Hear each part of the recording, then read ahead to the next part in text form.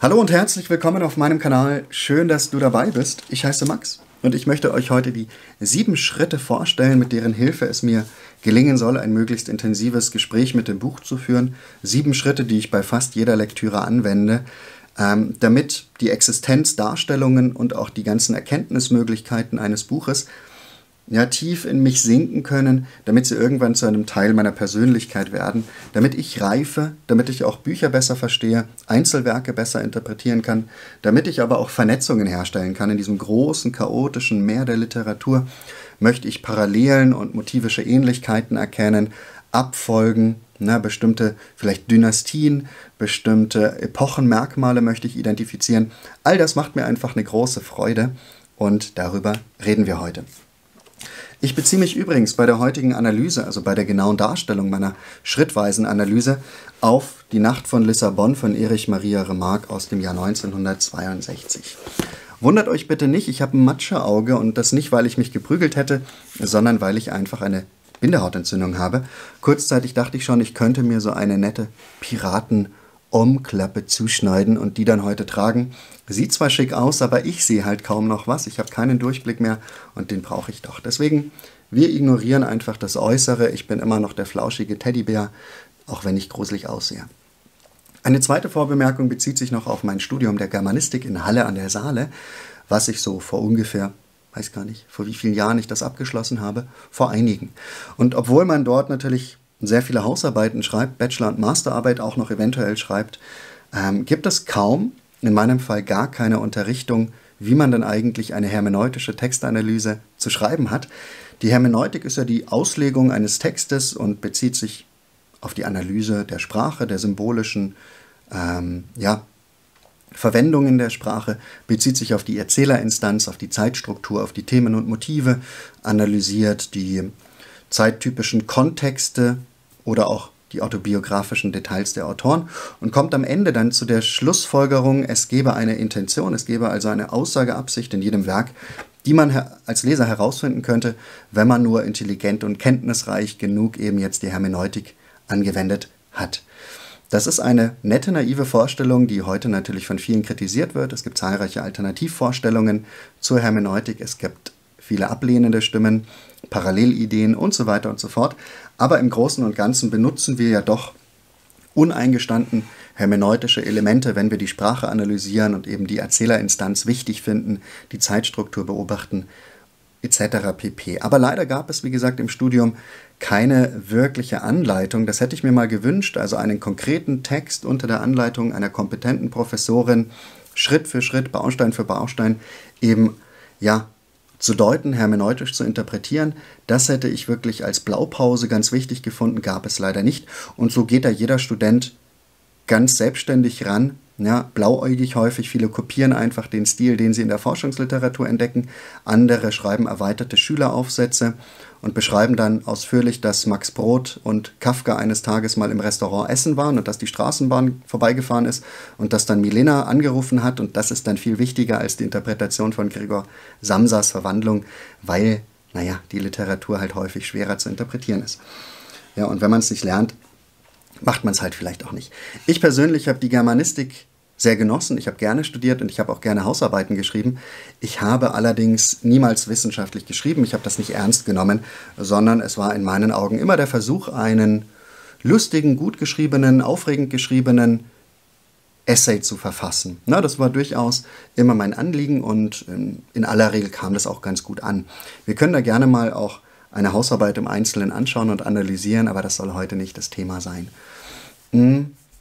Im Prinzip halte ich von der Germanistik auch nicht besonders viel, ohne sie jetzt auch irgendwie verdammen zu wollen. Es ist halt eine Möglichkeit, die Zeit im Leben zu vertreiben, eine schöne ähm, ja, Sache zu haben, ein schönes Hobby zu haben. Man lernt viele Leute kennen, man lernt natürlich auch viele Bücher kennen und hat Zeit während des Germanistikstudiums, sich damit mal intensiv zu beschäftigen. Aber es ist im Prinzip etwas, was Richard David Brecht wahrscheinlich als eine sich selbst kannibalisierende Wissenschaft bezeichnen würde. Ähm, er steht ja so auf dieses sich selbst kannibalisierende.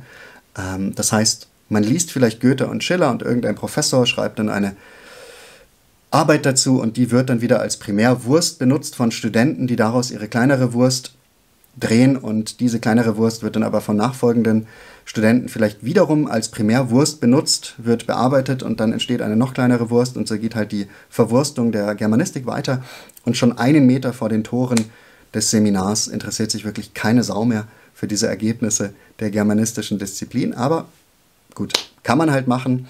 Ich finde es immer dann interessant, germanistische Arbeiten zu lesen, also tatsächlich Textanalysen zu lesen, wenn sich diese mit der Psychologie oder mit der Philosophie oder mit der Soziologie verbinden. Dann finde ich es relevant und lesenswert. Ganz häufig ist das aber nicht der Fall. Zumindest jetzt bei mir war das selten der Fall.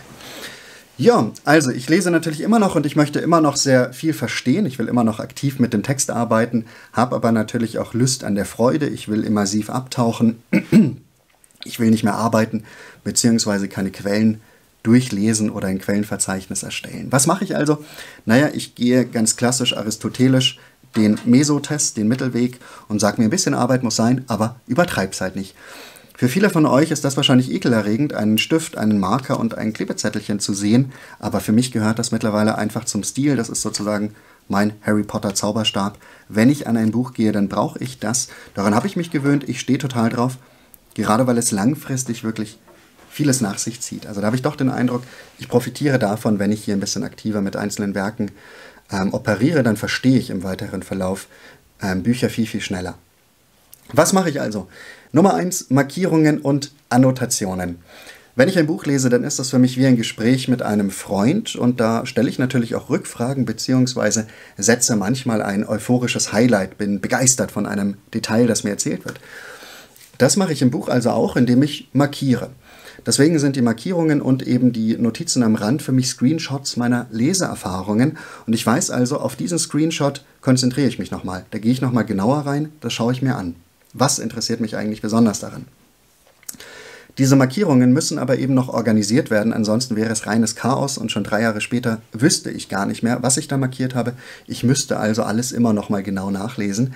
Und um mir das zu ersparen, schreibe ich also eine kurze paraphrasierte Zusammenfassung dessen an den Rand, was ich da gelesen habe, ganz wichtig in meinen eigenen Worten, um es eben in meinen Erfahrungsschatz, in meine Verständniskategorien zu überführen. Damit ich es überhaupt verstehen kann, muss ich meine Worte dafür wählen.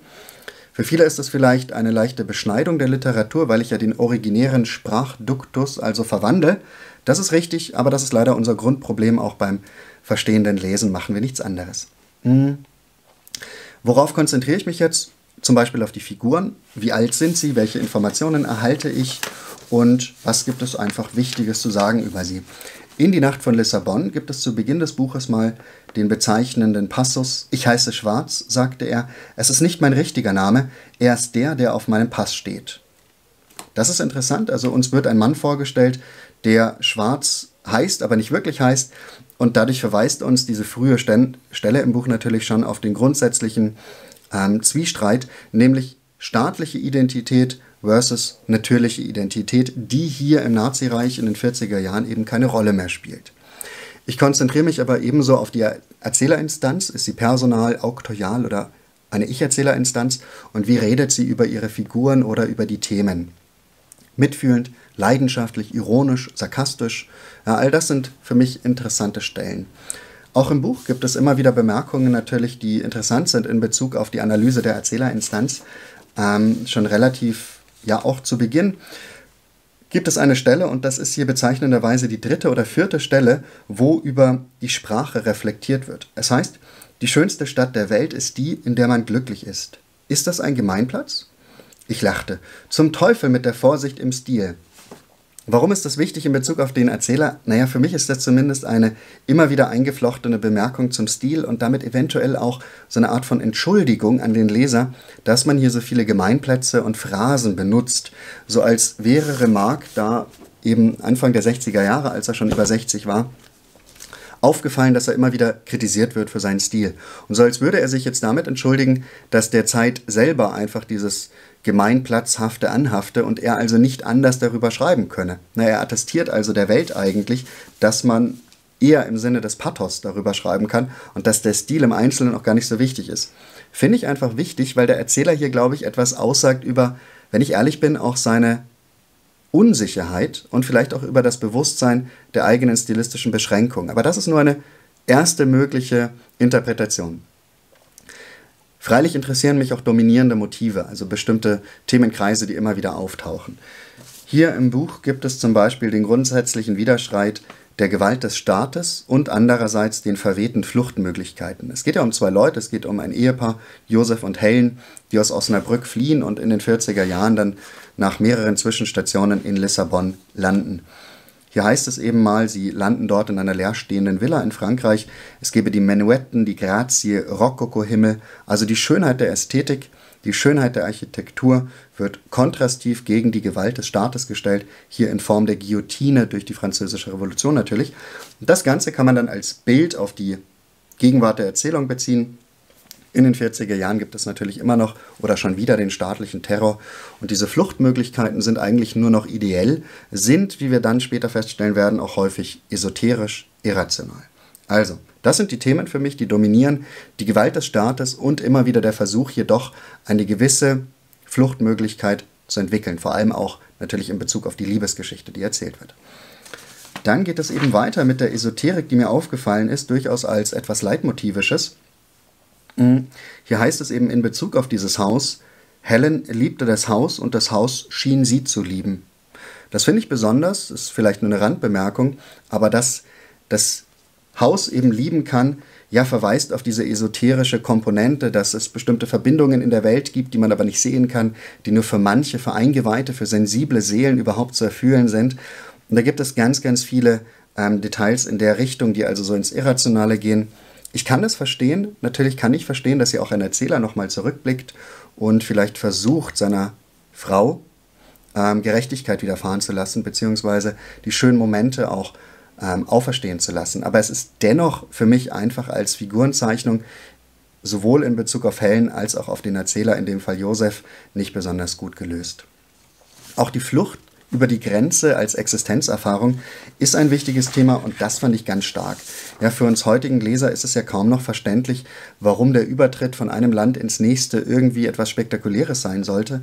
Aber in diesen Zeiten, in der natürlich die Grenze massiv bewacht und kontrolliert wurde, ist es ein größtmögliches Glücksgefühl, in der Schweiz zu sein. Und das nach, nachvollziehbar zu gestalten, ist ein, ja, durchaus eine große Qualität dieses Textes. Ich war so benommen von meiner neuen Freiheit, dass die Räder des Zuges in meinem Kopf zu rattern schienen. Erst nachdem ich sah, dass er seine Lippen bewegte, hörte ich, dass er sprach. Endlich heraus, sagte er und starrte mich an. Aus eurem verfluchten Land, Herr Parteigenosse. Denn ein mitfahrender Mann hält ihn auf, aufgrund ja, seiner Verkleidung, aufgrund eben seiner kleinen Scharade, um über die Grenze zu kommen, für einen Nazi. Und diese Spannung ist wirklich fühlbar, ist greifbar. Denn der Zug wird kurz vor der Grenze eben auch nochmal von deutschen Soldaten kontrolliert. Und das ist hier eben wirklich die, die große immersive Kraft, also etwas zu fühlen, etwas hier leidenschaftlich auch nachvollziehen zu müssen, ja, eben selber ängstlich zu sein, ob es gelingen wird. Und damit haben wir eine Verständnismöglichkeit für das Leben der Menschen eben zu der Zeit. Das finde ich wirklich ganz großartig gelöst. Das sind tolle Details, die ich mir natürlich auch notiere. Hm. Die Sprache ist selbstverständlich interessant. Also wie ist die Syntax gestaltet? Wie sind die Sätze aufgebaut? Hypotaktisch lang oder parataktisch kurz, komplex, elaboriert, einfach, inversiv, also mit vielen Inversionen, Satzumstellungen. Oder gibt es Parenthesen, Einschübe? All das finde ich wichtig. Genauso wie die Wahl des Vokabulars, die ich mir dann auch gerne kurz an den Rand schreibe. Vulgär oder quasi mündlich, metaphernreich, abstrakt, direkt, konkret und so weiter und so fort. Zum Beispiel gibt es das Wort schriebest. Lena, nein, sie spionierte für meinen Bruder. Er wollte wissen, ob du mir schriebest oder ich dir. Das Wort schriebest habe ich mir also eingekringelt und ich habe daneben geschrieben, es ist literarisch ein bisschen ungelenk. Ja, ich habe da natürlich auch meine Sprache. Das ist ja nichts für andere Augen eigentlich. Es geht ja nur darum, dass ich verstehe, was ich da aufschreibe. Schriebest ist der Konjunktiv 2 von schreiben und ist also grammatisch absolut korrekt. Aber es ist ja hier eine wörtliche Rede und niemand spricht so. Und gerade einfache Menschen, die halt so im privaten Raum miteinander reden, würden jetzt sicherlich nicht den Konjunktiv 2 in dieser Art benutzen. Ob du mir schreiben würdest oder ob du mir geschrieben hättest, würden wir vermutlich sagen. Und das notiere ich mir einfach, um halt, ja, ein kleines Beispiel dafür zu haben, dass die Sprache manchmal etwas ungelenk ist. Zumindest ist es meine Interpretation. Man kann hier natürlich andererseits auch anführen, es sei halt ein elaborierter Stil, ja, es sei ein korrekter Stil, es sei letztlich die Befähigung eines Schriftstellers eben ähm, anders zu schreiben als der Gemeinmensch auf der Straße schnackt. Aber ich habe da tatsächlich am liebsten den einfachen Schnack. Also Arno Schmidt zum Beispiel macht das ja ganz großartig oder auch Ginazino lässt seine Figuren so sprechen, wie man es halt so tut. Auch die Metapher der Fledermaus, die hier zum zweiten Mal auftaucht, finde ich bemerkenswert. Da steht, äh, die weichen Flügel riesiger Fledermäuse. Meine Kopie ist nicht besonders gut, aber das müsste da stehen. Und das ist schon der zweite Fledermaus-Metaphernverweis. Und da habe ich eben dran gedacht, dass das natürlich perfekt zum Titel passt. Die Nacht von Lissabon, die Fledermaus ist ein Nachtgeschöpf. Und ich dachte auch daran, dass diese Metapher vielleicht noch ausgebaut wird. Dass also die Nazis als Blutsauger vielleicht bezeichnet werden könnten und dass aus dieser Metapher irgendwann eine Allegorie entsteht. Aber das war nicht der Fall. Er lässt diese Metapher dann fallen, was auch völlig in Ordnung ist. Also manchmal notiere ich mir auch Dinge, die ich fälschlicherweise für ganz wichtig halte. Und das war jetzt für Remarque einfach nur eine kleine Metapher. Aber auch das ist vielleicht mal für euch ein Beispiel dafür, dass man natürlich auch manchmal Dinge markiert oder sich etwas rausschreibt, was für den weiteren Verlauf dann nicht wichtig ist. Aber mein Gehirn versucht natürlich sofort irgendwelche Parallelen zu entdecken. Aha, Fledermaus, Nacht passt ja zum Titel. Und manchmal notiere ich mir einfach an den Rand, ähm, meine Rechercheergebnisse zu Daten, zu Ereignissen und Personen. Wenn also irgendeine historische Person vorkommt, die ich nicht oder kaum kenne, dann recherchiere ich und schreibe mir einfach die Lebensdaten an den Rand. Hier gibt es die Bezeichnungen der Via Dolorosa oder auch der Gang durchs Rote Meer. Ähm, das habe ich dann recherchiert, ob das wirklich so Ausdrücke sind, also der Leidensweg jetzt durch Europa der Exilanten, das kannte ich natürlich auch noch von Jesus, aber das gibt es wohl als Begriff, das sind also Metaphern für den Leidensweg oder auch für den hoffnungsvollen Weg in ein gelobtes Land, ähm, und beschreibt damit natürlich auch diese massenhafte Erfahrung der Flüchtlinge in Europa zu der Zeit. Ja, das war jetzt der erste Schritt. Markierungen und Annotationen. Ich habe es ja ausführlich gemacht. Die zweiten oder die folgenden Schritte will ich ein bisschen knapper halten. Nummer zwei, ich schreibe auf Zetteln also den Inhalt und die möglichen Deutungen heraus und dampfe jetzt also das ein, was ich auf den 40 bis 50 Seiten zuvor markiert und an den Rand geschrieben habe. Das Allerwichtigste möchte ich jetzt eben auf die kleinen Zettelchen notieren und somit haben wir eigentlich so einen schrittweisen Vorgehen, ein schrittweises Vorgehen, dass ich den großen Textzusammenhang immer stärker eindampfe, um am Ende ein Substrat eben des Wichtigsten zu erhalten. Hier mal ein kleines Zettelchen. Hier schreibe ich Josefs Angst Helen in Gedanken zu verlieren. Ich glaube, da ist mir was draufgetropft. Das Leben ja, spielt halt manchmal auch, wie es möchte. Daher erzählt er dem Ich die Story. Ja, da muss man jetzt noch kurz auf diese verschachtelte Erzählerinstanz eingehen. Denn geschrieben ist diese Geschichte offenbar 1960 in den Vereinigten Staaten. Es ist dem Ich dann gelungen zu fliehen mit Hilfe ja, der Visa von Josef. Und er erinnert sich an diese Nacht in Lissabon 1942, als ein Mann namens Schwarz mit Vornamen Josef ihm die Geschichte der Flucht erzählt aus Deutschland ab 1900, vielleicht 38, 37, also es beginnt kurz vor dem Zweiten Weltkrieg. Also es hat eine verschachtelte Konstruktion hier und deswegen habe ich mir hier auch nochmal so ein paar Gedanken dazu gemacht. Der Irrationalismus startet in meinen Augen, dann gebe ich mir Beispiele, um später nochmal nachschauen zu können, auf Seite 160, auf Seite 208 und 245. Auch die Stilunsicherheiten oder gewisse Klischees erwähne ich, und dann auch noch eine in meinen Augen ähm, ja doch relativ kolportagehafte Gefangennahme, äh, beziehungsweise auch ein Gespräch in Paris. Vielleicht kommen wir dann auch nochmal auf diese Details zu sprechen. Auf einem zweiten Klebezettelchen von, ich denke, insgesamt sieben Stück hier in diesem Buch habe ich mir da notiert, dass es eben dieses entrückte Paradies in dem Schlösschen gibt. Das sind esoterische Glücksgefühle der beiden. Das hatte ich euch ja gerade schon gesagt, wie ich das interpretiert habe. Dann weitere Beispiele fürs Irrationale. Natürlich auch ähm, Dinge zum Inhalt, die für euch jetzt vielleicht ein Spoiler sind. Helen hat Krebs und sie glaubt nicht mehr dran, dass sie in den USA landen wird. Ähm, auch, dass sie in Marseille ankommen. Also ich schreibe mir auch die wichtigsten Handlungspunkte auf, um beim raschen Durchfliegen dieser Bücher eben herauszufinden, was ungefähr in welchem Abschnitt vorkommt. Das ist für mich persönlich auch interessant, wenn ich eben später nochmal nachschauen möchte.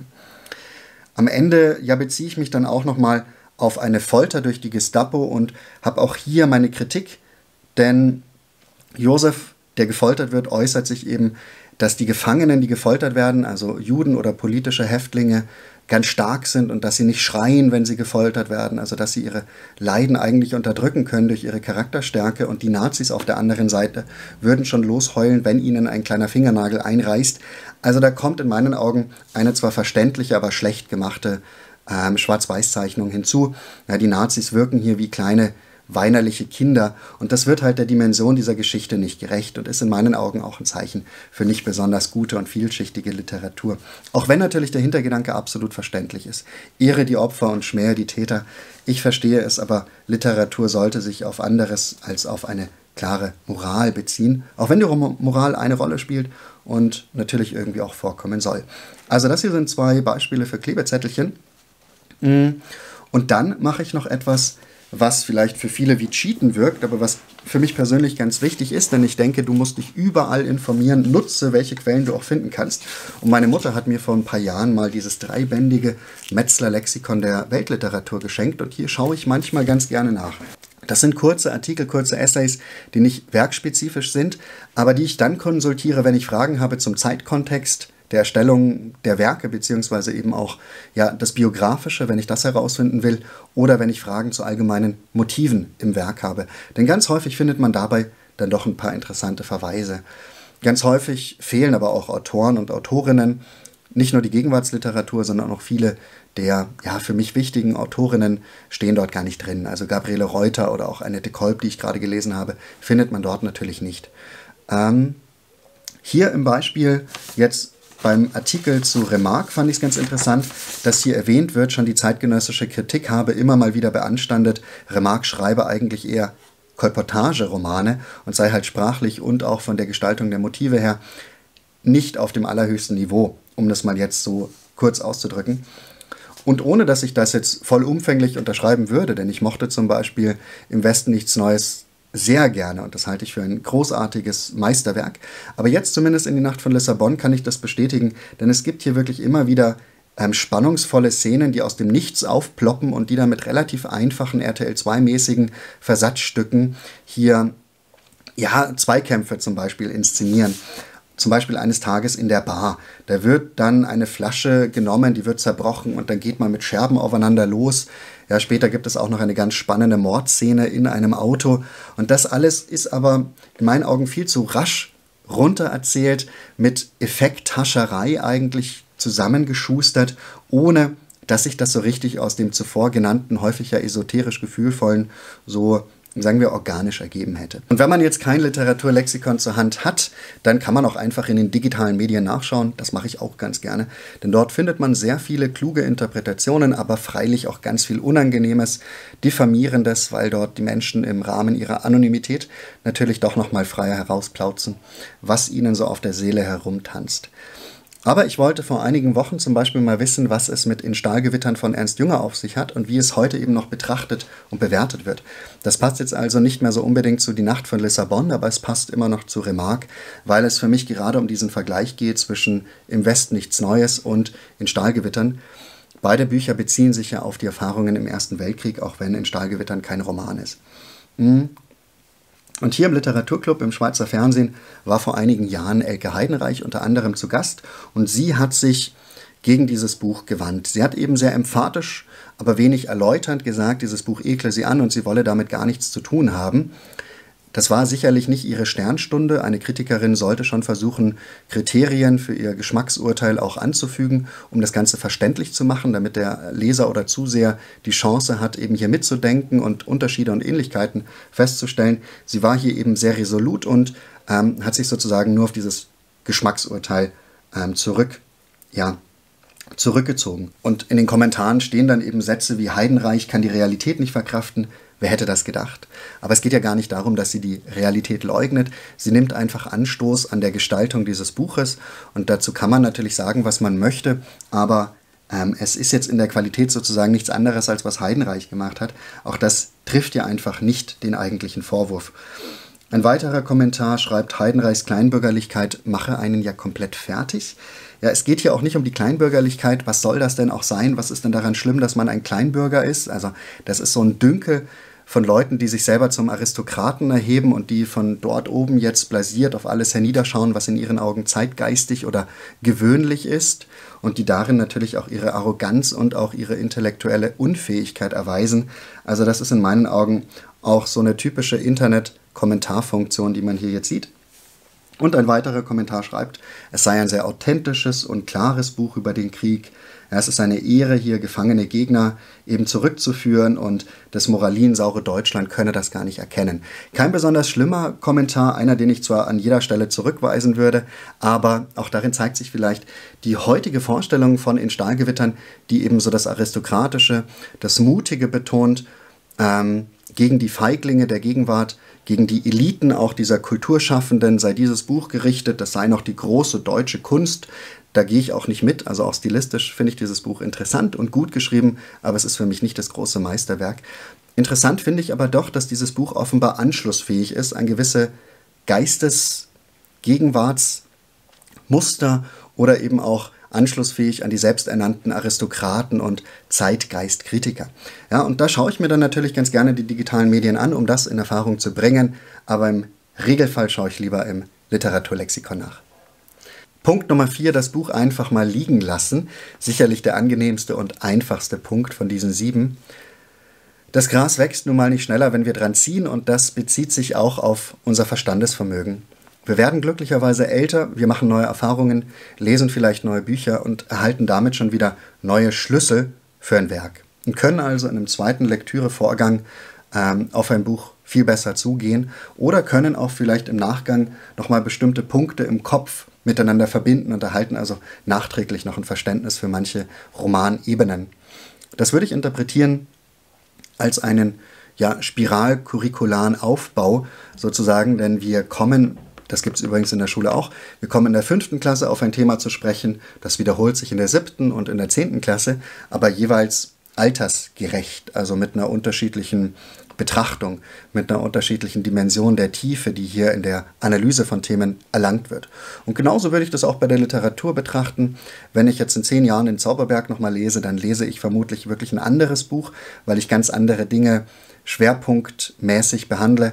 In 20 Jahren ist es dann wieder ein anderes Buch, weil ich einfach im Reifeprozess oder in den allgemeinen Lebenserfahrungen so weit voranschreite, dass ich mich anders auf die Figuren konzentriere, dass ich die Themen vielleicht auch anders bewerte, dass ich mit einer größeren Gelassenheit, mit einer größeren Toleranz auf Dinge blicke oder vielleicht im Gegenteil auch mit einer Vehemenz gewisse Dinge einfordere, die mir vor 20 Jahren noch nicht wichtig waren.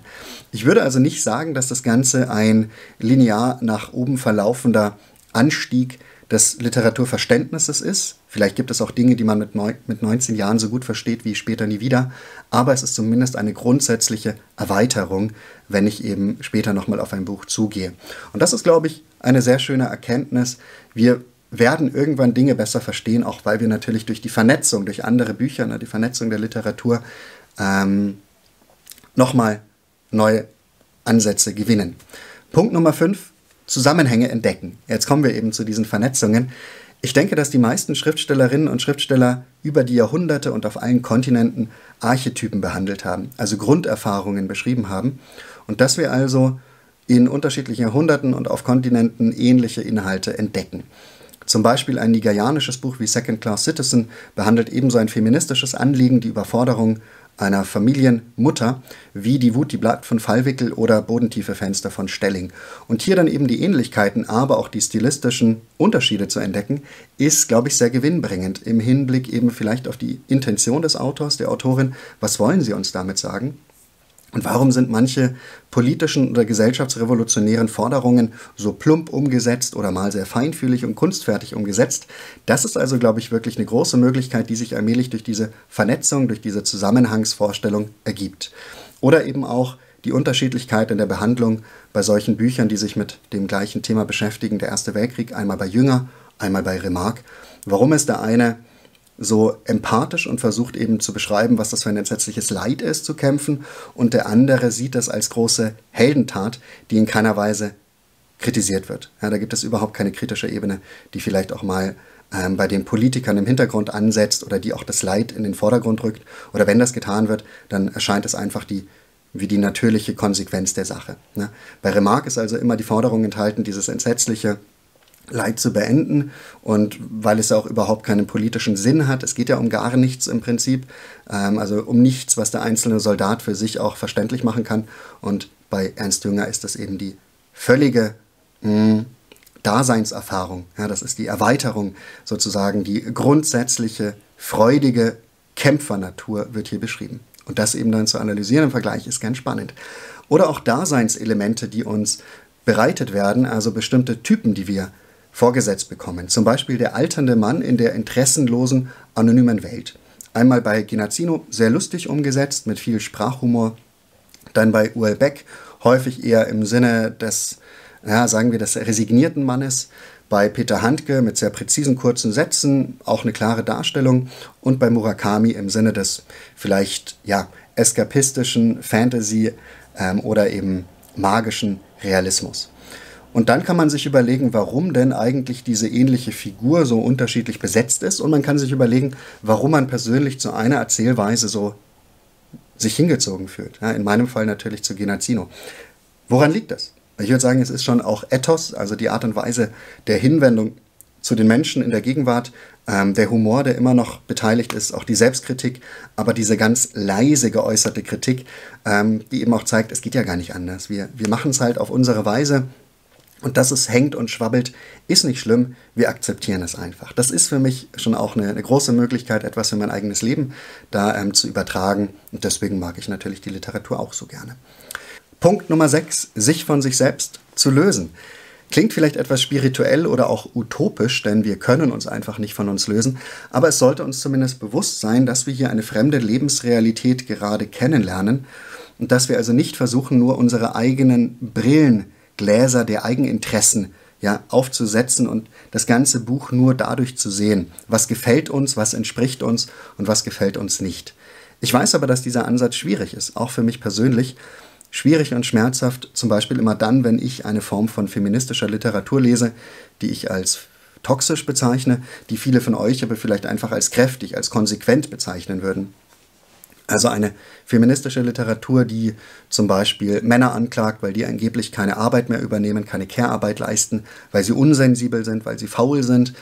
Und da fühle ich mich natürlich persönlich angegriffen aufgrund meiner Lebenssituation. Aber ich muss auch hier verstehen und muss erlernen, dass ich das einfach trotzdem akzeptiere, dass ich also nicht immer wieder in so eine Verteidigungshaltung oder auch in so eine Angriffshaltung gerate, sondern dass ich die Dinge erstmal annehme, wie sie sind. Dass ich natürlich meine eigenen Interessen habe und diese auch verteidigen möchte, steht ja außer Frage. Aber das kann ja dann auch in einem anderen Vorgang passieren. Ich bin ja auch sozusagen reifer geworden durch eine Darstellung, die Opposition zu mir bildet, aber die ich dadurch eben auch kennengelernt habe. Und Punkt Nummer sieben und der letzte Punkt, eine Rezension verfassen.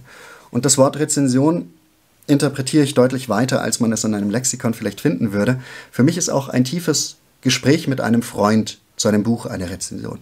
Wenn ich einem Freund davon erzähle, was ich gelesen habe und wenn Rückfragen kommen und ich auf diese eingehe, dann ist auch das für mich eine Rezension. Oder wenn ich meinem Sohn, der auf meinem Bauch herumtanzt und brabbelt, davon berichte, was ich gelesen habe und wie es mir gefallen hat und er das eines Tages bestimmt auch lesen wird, dann ist das für mich auch eine Rezension. Oder klassisch, wenn ich bei Goodreads etwas aufschreibe ähm, oder hier bei YouTube eben darüber rede. Also es ist dann der Versuch in der Rezension eine Vernetzung der verschiedenen erlangten Informationen vorzunehmen. Dass ich also all diese Punkte, die ich jetzt gerade benannt habe, miteinander verknüpfe, um am Ende doch vielleicht wieder naiv oder klassisch auf eine Intention zu stoßen.